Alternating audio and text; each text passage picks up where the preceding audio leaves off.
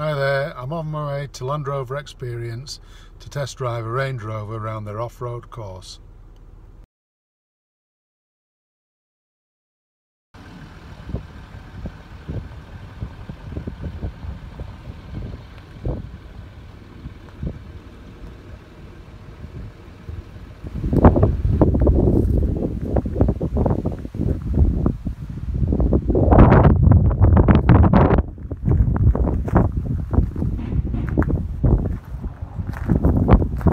It'll just slow it down in time to make the left turn.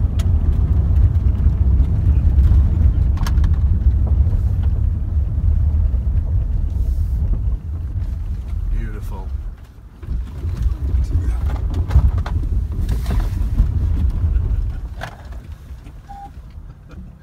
It's never been tried, um, but unofficially, I think it. I think it's been tried. I don't know if it's been done. It's just a little bit. Yeah, yeah, just nice and gently easing in. That's what the way since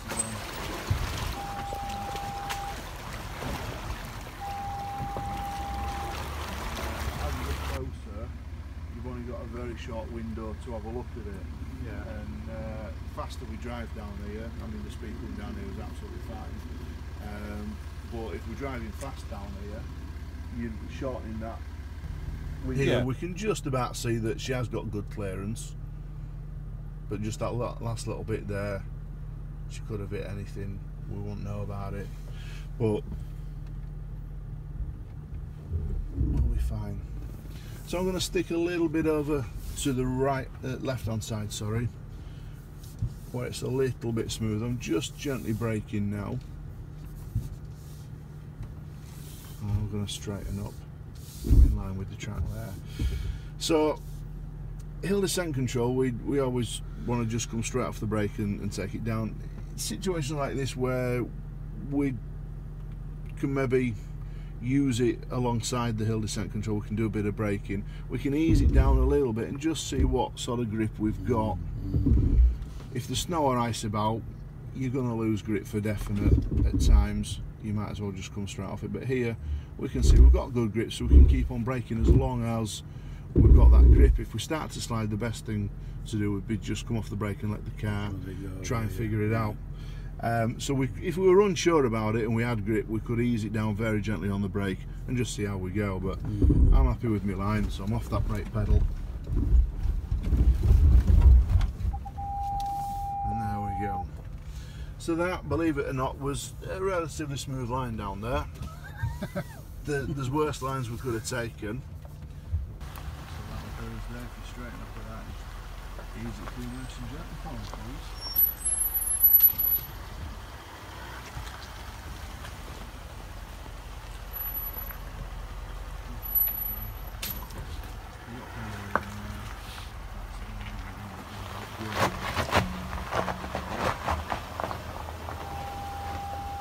So you can feel there, that's the uh, the rear diff.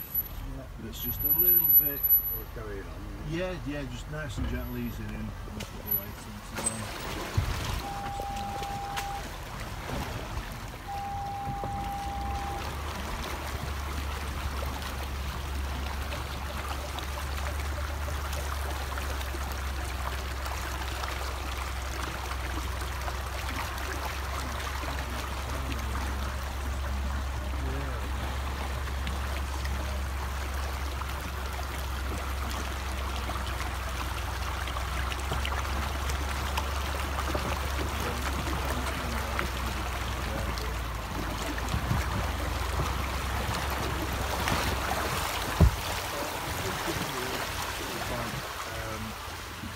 Don't want is to go through fast.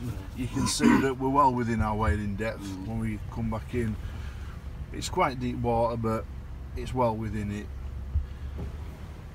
The faster we go, the more we're going to create a bit of a wave, and that could be um, affecting the track here, any wildlife habitat here, or other road users, um, or if we're driving down you know, streets that are flooded.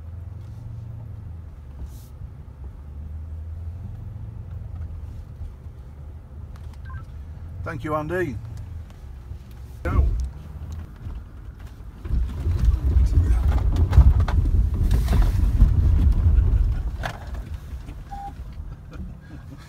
there, were no, putting the brakes on then, was there? No.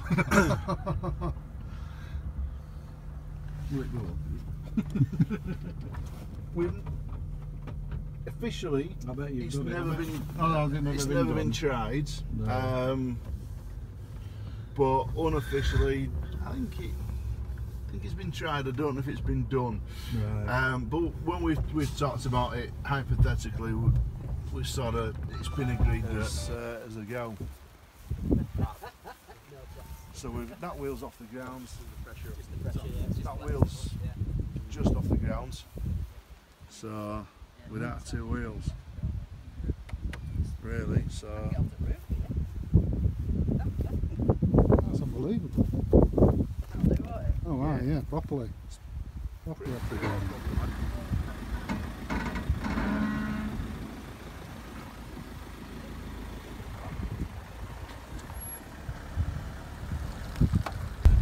it's uh, in the event of your driver becoming unwell.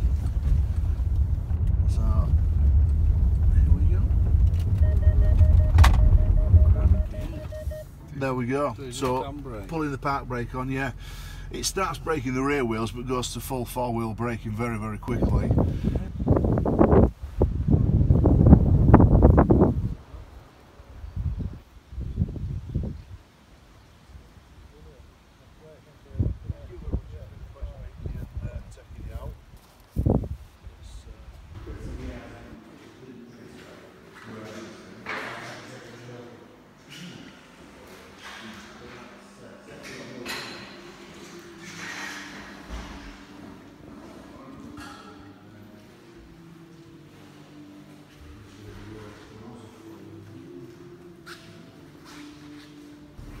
Thanks to everybody at Land Rover Experience North Yorkshire.